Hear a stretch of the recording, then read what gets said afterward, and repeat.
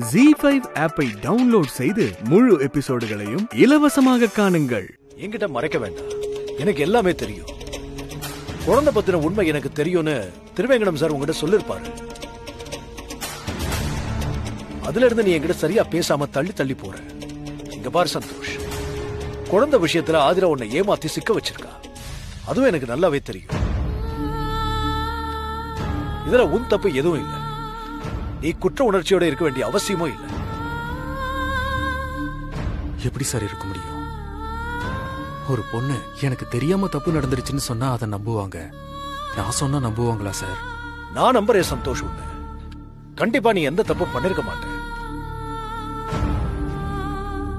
நான் மட்டும் இல்ல பவியும் உன்னை நம்புவா. அவகிட்ட நான் பேசுறேன். இல்ல சார். இது தெரிஞ்சா அவ கண்டிப்பா என்னை விட்டு போயிடுவா. இல்ல சந்தோஷ். அப்படிலாம் எதுவும் நடக்காது. நான் நடக்கவும் விட மாட்டேன் இந்த கல்யாணம் முடியிற வரைக்கும் இதை பத்தி நாம பேச வேண்டாம். அதுக்கப்புறம் சரியான நேரம் பார்த்து நாம இதை பேசலாம். குழந்தை விஷயத்தை நினைச்சு ஏதோ தப்பான முடிவு எடுத்திருக்கிற மாதிரி தெரியும் அப்படி ஏதாவது இருந்தா தயவு செஞ்சு கைவிட்டுரு இல்ல சார் அப்படிலாம் ஒண்ணும் இல்ல சார் உன்னையும் பவியும் பிரிய ஒரு நாள் நான் விட மாட்டேன் நீ அதை நினைச்சு பயப்பட தேவையில்லை. அதே நேரத்துல குழந்தை மேல லக்ஷ்மி உயிரையே வச்சிருக்கான். அவனுக்கு ஒண்ணுனா லக்ஷ்மியால தாங்கிக்கவே முடியாது. குழந்தைய பிரச்சனையா நினைச்சு அவன் மேல நீ கோவத்தை வளர்த்துக்கிறது நல்லது. இந்த பிரச்சனையை எங்கிட்ட விட்டுரு.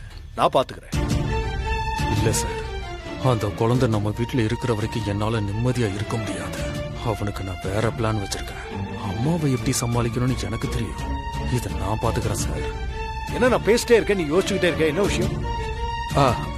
அது ஒண்ணும் இல்ல சார் நீங்க போங்க சார் உங்களுக்காக எல்லாரும் வெயிட் பண்ணிட்டு இருப்பாங்க. நீங்க முதல்ல போங்க சார் சரி நீ போன வரேன்.